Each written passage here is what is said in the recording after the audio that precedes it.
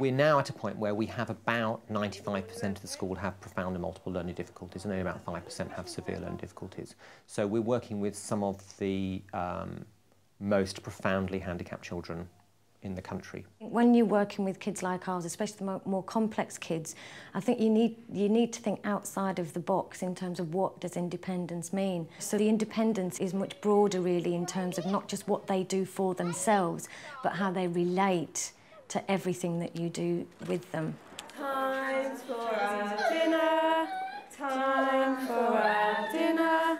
Cooks in the kitchen, it's time for our dinner. Time for our dinner, time for our dinner. Everyone's hungry today. Each child at Stephen Hawking Special School has an independence target. Eating and drinking independently is a common target, and this in-school clinic helps achieve it. Hold it, Habil, hold it. Bella, good boy. Take it back to your plate. Bella, good boy. Drink. Water.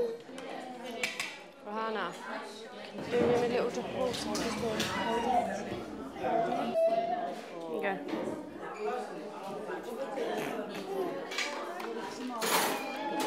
go. Eat beans now then. Your spoon. That's it. Well done. It's potato. Hold it. Take it back to your plate. Good boy. Habil. Some sweet corn. Vegetables. Hold it. Bella, good boy. For us, the independence goals and independence targets of the pupils is a key part of their education. If we don't develop those things with those children whilst they're here, then their life chances will be significantly reduced. Across the board, actually, for all children, I would say that without those independence targets there, the children would not achieve what they are achieving now. I mean, I wouldn't say that we've, you know, we've got it right for every single child. It, it's not always that, that easy. Um, but I think where, where, it has been key, particularly, are for children with severe learning difficulties who've come to us at the age of two or three. And because of the work that we have put in with regards to independence targets, the work that we put in regarding sort of multi-professional support means that a lot of those children, well, all of those children have gone to mainstream. The eating and drinking team brings together a number of professionals. we have a very skilled speech therapist in school who has, has um, lots of experience in, in managing children's oral problems. She has far more skill than I do, and I think she has a, a bigger picture of how everything oral fits together. Mm. Mum's finding it very difficult to get her to yeah. eat anything at home. Yeah. I think you're right, broaden her skills in terms mm. of um, making sure that she's eating with more people, because mm. that could include doing some work with mum at home. And that ties in with that mum's already requested to come into school and have a look and see how we do it. Okay. So we've made an appointment for mum to come in next Thursday. And the dietitian and I have made an appointment to do a joint home visit as well. Oh, so maybe yeah. if we were mm. involved mm. when mum comes into school as well, that'd be great. Then we could yeah. feedback when we do our home yeah. visit too. Yeah, that'd be really good.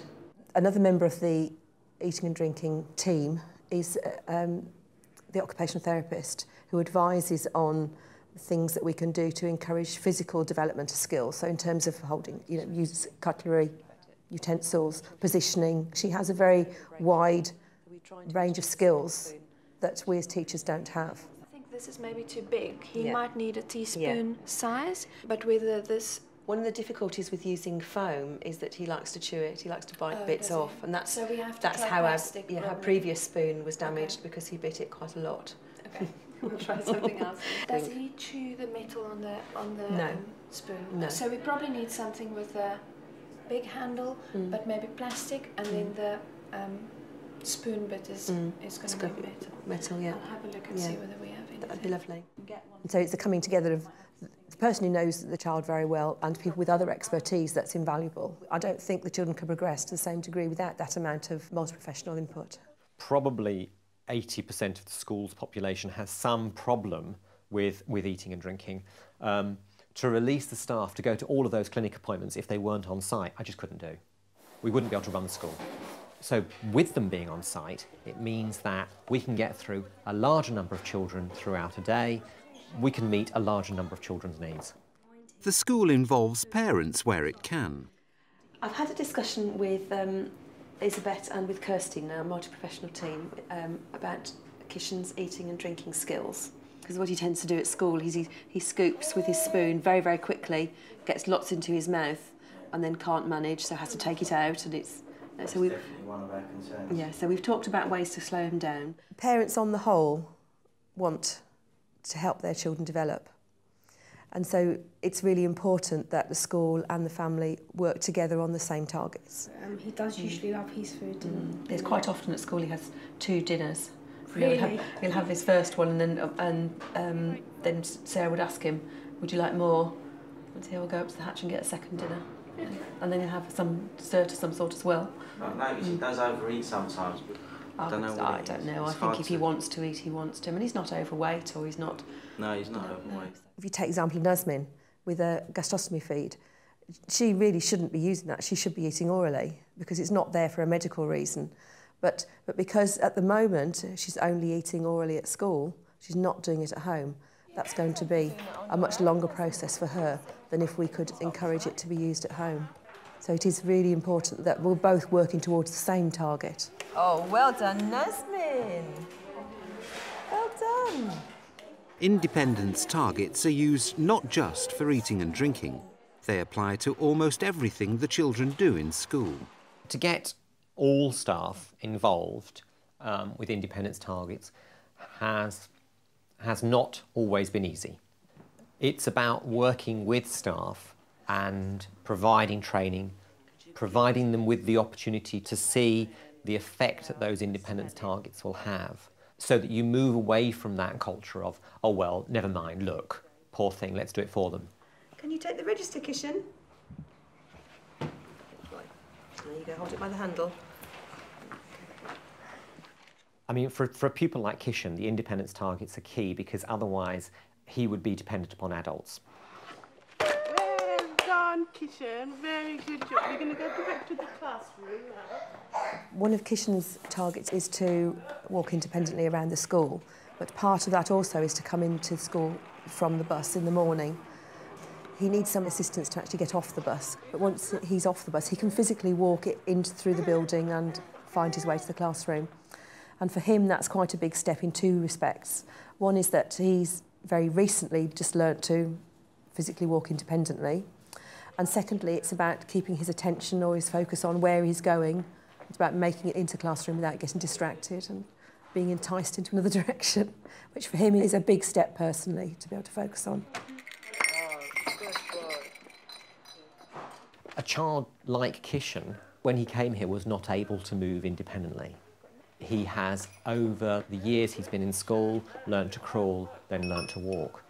And his, his learning has moved on significantly since he has been able to get up, move around, explore things himself. It means that the teacher, the support staff in the class don't have to take everything to him. They don't direct his learning entirely. He can actually be self-directed as, as well. And without his ability to move independently, we would control everything.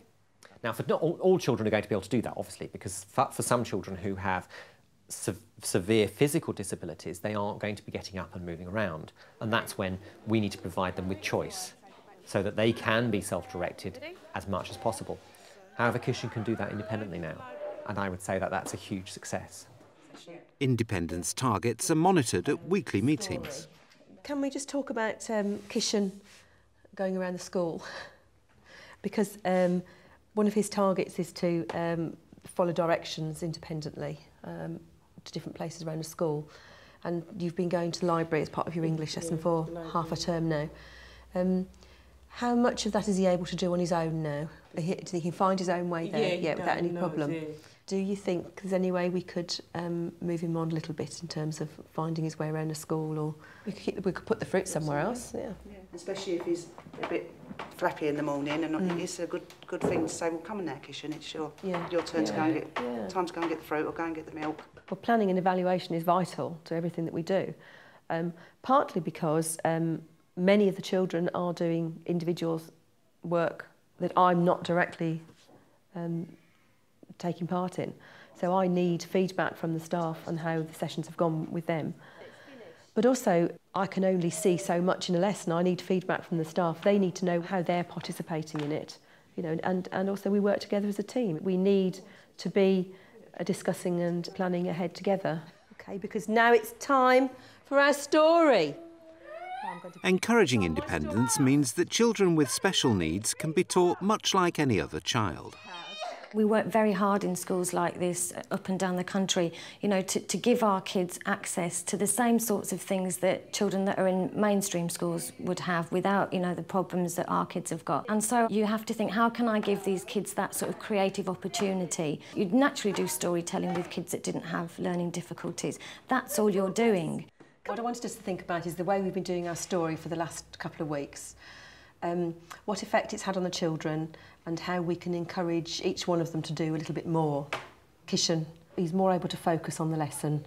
He's more able to um, participate in lots of different ways, like he, he, he makes the gestures, he does the signing. Do you think there's more that we could do to encourage him to, to join in? Because what he's doing, he's, he's actually predicting Yeah. what's coming Yeah. next, isn't he? Yeah. Do you think that the fact that he's predicting is as much as he's going to be able to do? Not unless you get him to sit with a child who he could help, you know, like Mm. as in to participate in. Someone like Michael, I was thinking, yeah. you know, like we would do the movement or Mm. that. Perhaps we could get Kishan to do it for Michael Yeah. on Michael's tray. Yes. And that might really encourage Kishan to do a bit more as well because he's showing someone else how to do it. A Oh, bit that's a really good idea. Yes. Go! And Rabbit was running really, really fast. Well done, Kishan. One of the difficulties I've had in the past is children who aren't able to respond to one person leading the group. They're very much dependent on the person sitting next to them to provide their, their structure in an activity. And, and I felt that that interactive storytelling is one way of addressing that need. It provides children with a focus in a group activity, which they can't always achieve in another other way. And I'd be hoping that what it encourages is independent interaction within a group situation, which is something that children in this school find quite difficult. Well done, Habil. Thank you for joining in. Well done. It's funny when, when we first spoke about trying it out in Janet's class, and I spoke to the whole class, and they said, "Well, what do we do then if we haven't got switches and props and symbols?" I said, "You don't, you don't do any of those things. You just tell the story. You tell the story, and the kids enjoy having the story, and they listen to the rhythm, and they'll participate in their own individual ways, which I, I think is what is beginning to develop." in that classroom, different kids are really showing how they are engaging and joining in in their own individual ways. And that individuality which it allows is really important to independence, I think. Rabbit jumps up and he starts running as fast as he can, said Nasmin. Oh, he's getting out of breath. Oh no, it's too late because Tortoise is the winner! Yeah! Slow and steady wins the race.